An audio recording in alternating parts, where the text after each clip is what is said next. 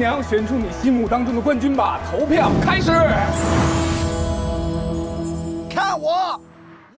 Hi, welcome to the Silver Spleen. My name is Divorce Plaintiff, and this is my review of Bride Wars. Bride Wars is a China remake of a 2009 American film of the same name. The American version made money, but not a lot of money. The critics hated it. So at least this China remake has a pretty low expectation bar, which is good because it makes it over the bar by about this much. It's probably not a surprise to any of you that I'm not a fan of rom coms or chick flicks or movies about weddings. But I was offered a ticket to see this movie, and I took it.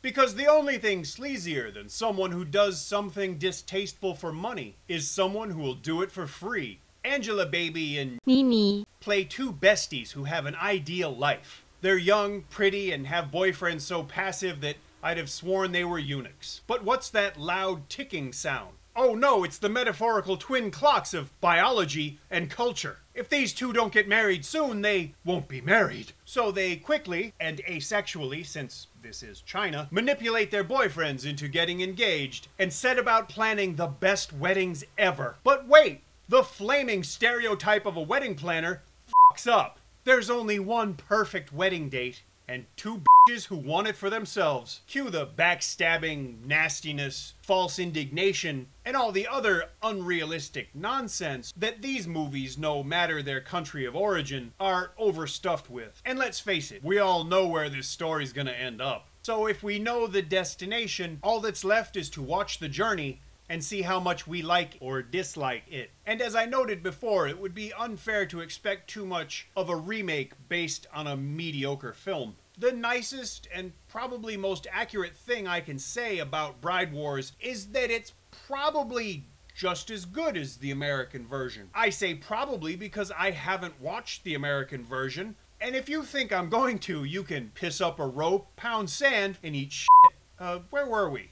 In terms of execution, I can't really say anything bad about Bride Wars. It looks nice and it obviously had a decent budget and they weren't afraid to spend money. There were a few times that I sincerely laughed. The two grooms, when they're given the rare opportunity to be on the screen and open their mouth, were actually entertaining and funny. I liked the Huang Xiaoming cameo in the opening of the film because that was the only time I had to look at him. Why was he there? I don't know why. But I do know that he and Angelababy, who was also in the movie, recently got married and, and weddings are expensive. And movies about weddings probably involve people and companies who do weddings. And they may be glad to have a famous person endorse them. Now I'm just being catty.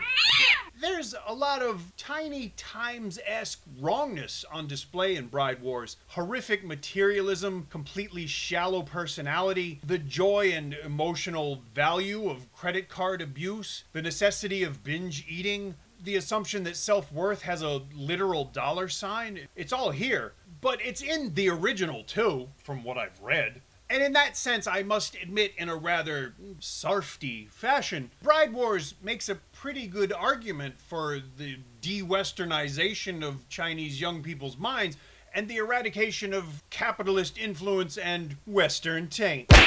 But as long as we're talking about cultural representation in film, I really enjoyed the wedding day morning sequences. They show some of the traditions of Chinese weddings, and I found it not just informative but entertaining. I liked the use of CGI in the movie, not just because it was sparing, but because when it occurs, it also makes narrative sense, and it looks good. It was nice to see that corner not being cut for a change.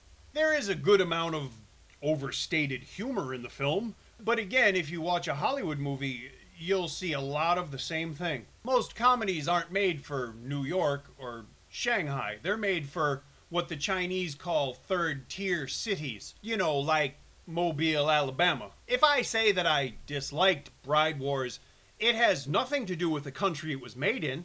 It's just a disposable rom com, which I'm not a fan of. It's glossy, dumb, and empty, which can be said not only of Hollywood movies, but of Hollywood itself. I can't really say I enjoyed this movie, but at the same time, I can't really say it's bad. I mean, it's predictable and it's dumb and it's lazy, but like I said, we get a lot of those all over the world. If you want to watch this movie, go see it in a cinema or wait till you could rent it or buy it. Don't steal this movie. When it gets released to home video, I'm going to update the description with a link where you can buy it. If you enjoyed my review, tell me. If you didn't, tell me. If you like the channel, please subscribe. Thanks for watching, and I'll see you again shortly.